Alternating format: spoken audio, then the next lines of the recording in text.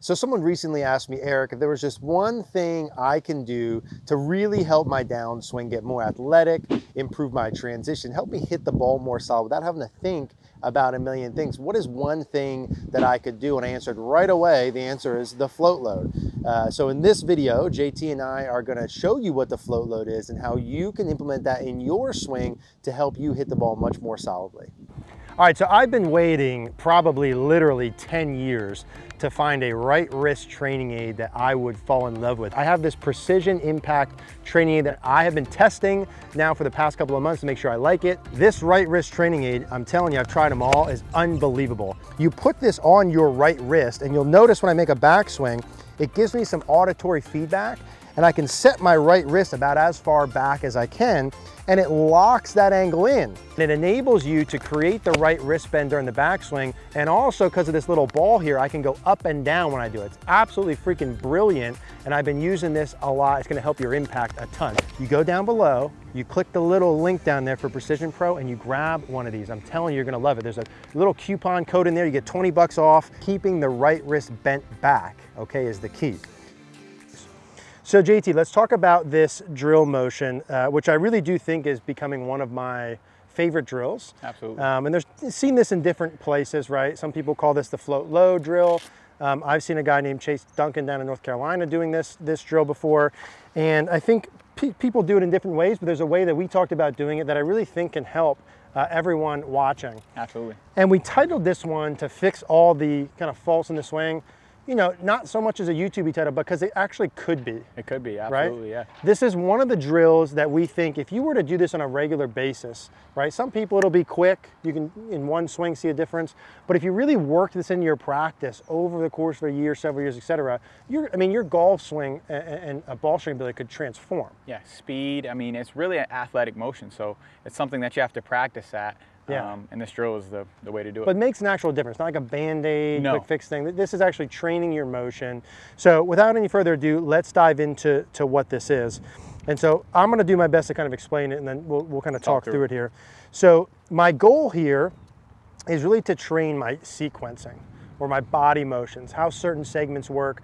I'm trying to create speed, I'm trying to create solid contact, get a lot of distance for free, all the things we want, right, shaft? For sure. And so how we do this and with this little drill is I'm gonna take my normal setup, I've got a seven iron, I think probably a short to middle iron would be fine to start with. Yep.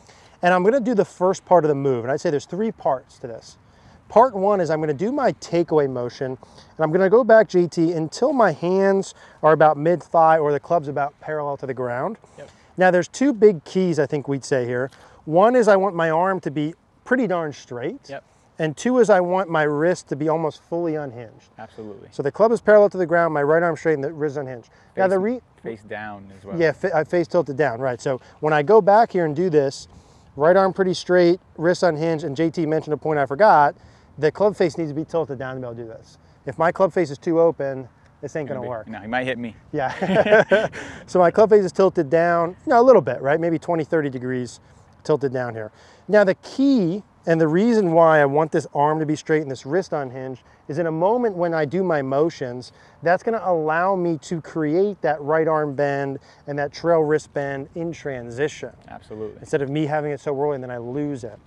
So part number one, right arm, right wrist fully lengthened, club face tilted down.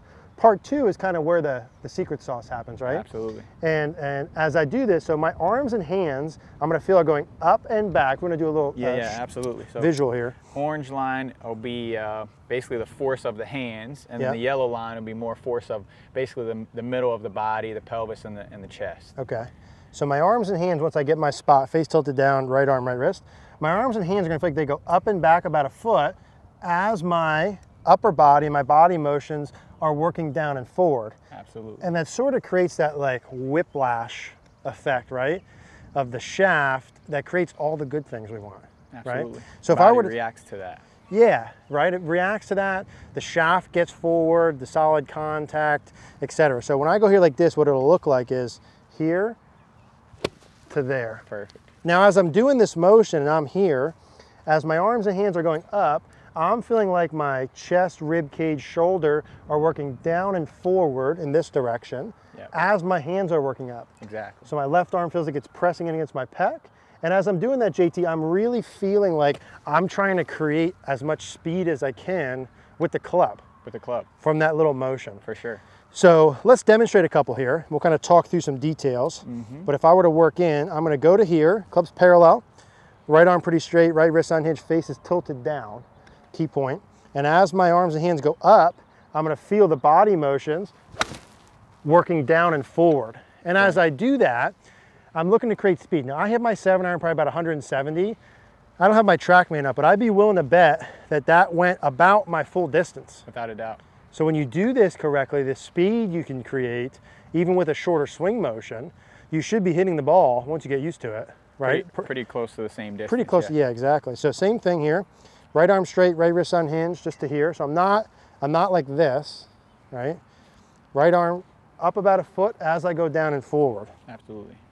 So I'm to here, and that's how I create my motion. And that's about as good JT as I could hit a ball. And to be honest with you, like the more and more I see this, the more and more we talk about, and the more and more I do this, this to me is becoming quickly like my favorite drill.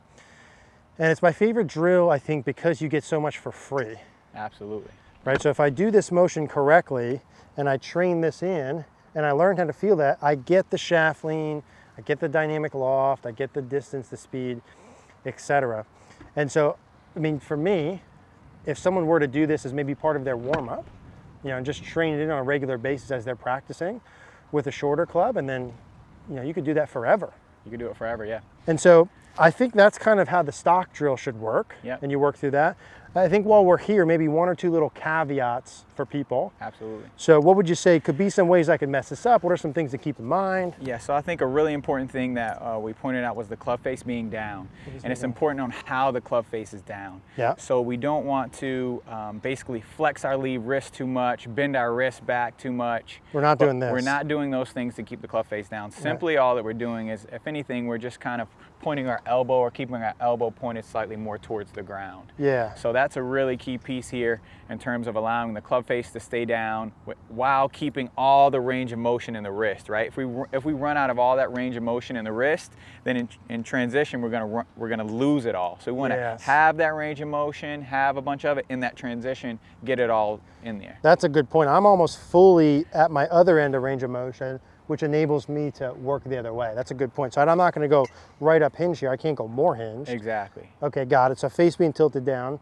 What about guys and gals who do this and they really throw a lot from the top? Absolutely. So um, what we're looking to do is as we feel this pull, so it's really important on the on this drill that the way we're getting the club to the ball is not by yanking this arm down. So unloading this arm, getting that to the ball. That's not how we want to do it we basically, as, as you pointed out, is as those arms are going up, we're feeling a huge stretch and a pull here, yeah. basically through our lats, through our obliques, through our hip there to get that club down. I feel a huge activation there in my shoulder and lat motion compared to normal. For sure. And someone who might throw, they might actually feel like they're they're consciously hinging a little as they do Consciously hinging, but more than anything, really pushing their left arm away from them. So get, getting some width. So as far as they can get it away, that's gonna help that uh, club hinge back more. So, so if they pull that lead arm in, right? So if I bend my lead arm, yeah. right, now I lose all of that tension on the shaft. That's how we see a lot of golfers okay. coming to the ball. So if I need to, as I'm doing this, I can even feel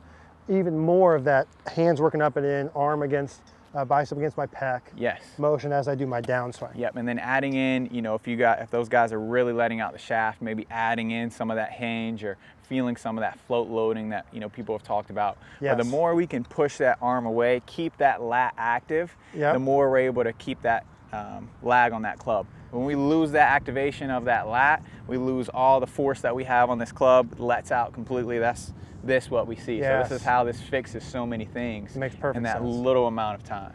So I think this in terms of, there's not a lot of things in the golf swing that I think are completely universal.